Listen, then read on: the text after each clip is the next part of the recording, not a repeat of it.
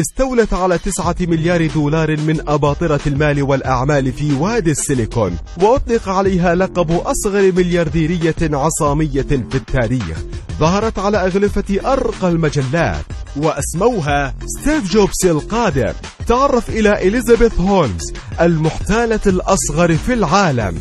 في العام 2003 تركت هولمز دراسة الهندسة الكيميائية في جامعة ستانفورد لتؤسس شركة ثيرانوس في وادي السيليكون وحملت معها فكرة جنونية آلة بحجم كمبيوتر منزلي ستلغي وظيفة الطبيب كليا معقول؟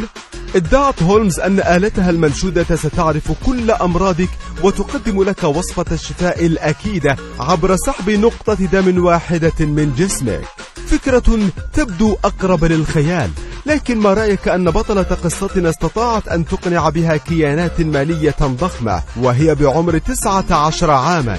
لتعرف كيف فعلتها إليك قواعد الاحتيال الستة. القاعدة الأولى استلهم روح وادي السيليكون. معظمنا ينظر لشخص ترك الجامعة على أنه فاشل لكن ليس في وادي السيليكون. هنا ستجد أن الذين تركوا جامعاتهم أصبحوا ملوك التكنولوجيا في العالم. ستيف جوبز مارك زوكربيرغ وبيل جيتس. بالنسبة لملوك المال كانت حالة هولمز مثالية. فتاة تركت الجامعة وبدأت شركتها من قبو المنزل ومن لم يفعل ذلك في وادي السيليكون. القاعدة الثانية. قل إنك ستيف جوبز القادم. إليزابيث كانت تقلد جوبز بشكل مبالغ فيه. تلبس مثله تأخذ نفس وضعيته عند التقاط الصورة. بل وكانت اجتماعاتها الأسبوعية مع فريق العمل في نفس يوم اجتماعات جوبز مع فريقه ولم تأخذ أي إجازات خلال عملها تماما كما فعل جوبز كما أنها استعانت بنفس فريق التسويق الذي وظفته أبل عند انطلاقتها الثورية بقيادة أبي تيفانيان. القاعدة الثالثة. املأ العالم ضجيجا بجمل التحفيز.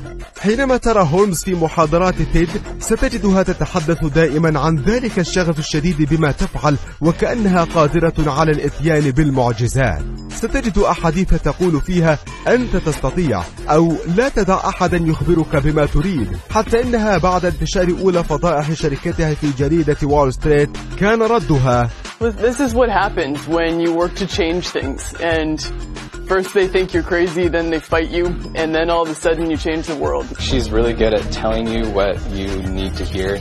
القاعدة الرابعة اظهر بمظهر المحتال المحتال هو أكثر الناس أناقة في الحجرة منذ اللحظة الأولى عملت هولمز على إظهار نفسها بمكانة عالية فكريا وماديا ظهرت على أغلفة أرقى المجلات كالفوربس والفورتشن وظهرت أيضا في تيدكس وبرامج الصباح والمساء كانت في كل مكان وكلما شاهدتها ستجدها تتحدث عن الإنجاز والعمل والنجاح You founded this company 12 years ago, right?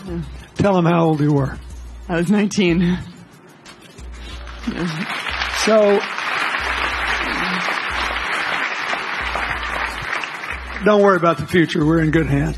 القاعدة الخامسة قدم نموذج استثمار بسيطا ومنطقيا ومغريا حرصت هولمز طيلة 15 سنة على أن تقدم مشروعها بصورة منمقة وبسيطة ومغرية. لذلك تركت الأساسات العلمية الدقيقة لجهازها وانتقلت مباشرة إلى الإمكانات التي تسيل لعاب المستثمرين. فعملية فحص دم بتلك البساطة وبجهاز بحجم حاسوب المنزل ستدفع أعدادا أكبر من الناس لإجراء الفحوصات.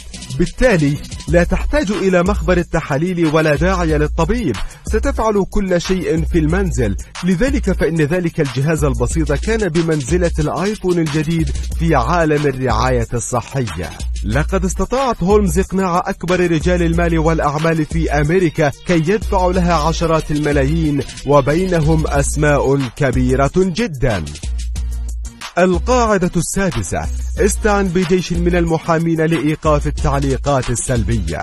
اعتمدت هولمز منذ البداية على السرية التامة كي لا يعرف أحد أي شيء عن مشروعها. انتهجت من أجل ذلك سياسات تخويفية غاية في القسوة حيث فرضت غرامات ضخمة على كل من يفشي سرا من أسرار شركتها سواء من الموظفين أو حتى الزائرين العابرين. وعينت من أجل الملاحقات القانونية رجلا اسمه ديفيد بويز ويعد أشهر المحامين في أمريكا. وكانت النتيجة أنه كلما حاول أحدهم النطق بكلمة عن ثيرانوس قام فريق المحامين بالتحرش القانوني به لعدة شهور حتى يسكت.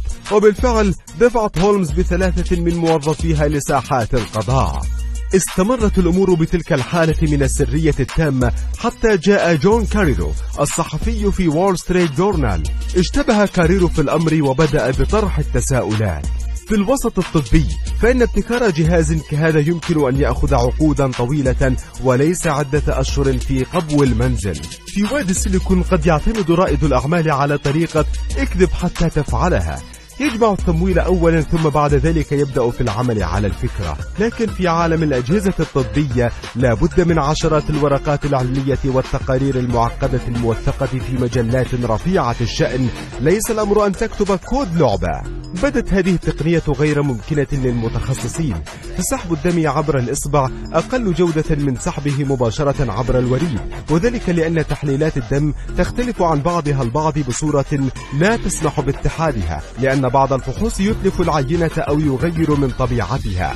كتب كاريرو أكثر من أربعين تحقيقا عن هذه القصة وتمكن شيئا فشيئا بالاتحاد مع مجموعة من المهتمين بالأمر من دفع الحكومة الأمريكية لتقصي أوضاع ثيرانوس وأخيرا ثبت احتيالها هولمز الآن متهمة بالاحتيال وأجبرت شركتها على إغلاق معاملها ومراكز اختباراتها وتوقفت عن العمل للأبد.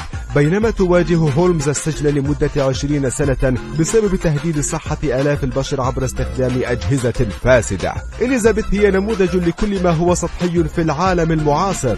استخدمت معلومات مغلوطة وسطحية لكنها مقدمة بلغة جميلة ومنمقة. قدمت نفسها كنموذج للنجاح ليس بإنجازاتها ولكن بما تقوله من جمل التحفيز. انتشرت أخبارها كالنار في الهشيم وصورتها المنشورات الصحفية على أنها ستيف جوبز القادم. صدقها الناس على مدى أكثر من عشر سنوات. وقع الجميع تحت تأثير هالتها. ولم يفكر الكثيرون في السؤال عن أهم شيء في تلك القصة. ما هو جهاز هولمز الذي تتحدث عنه؟ هل تتخيل حجم الكارثة؟ لا يمكن أن يحدث ذلك إلا في عالم زائف بطبعه يقدس المطاهر فوق أي شيء آخر. وهذا بدوره يدعونا للكثير من التأمل.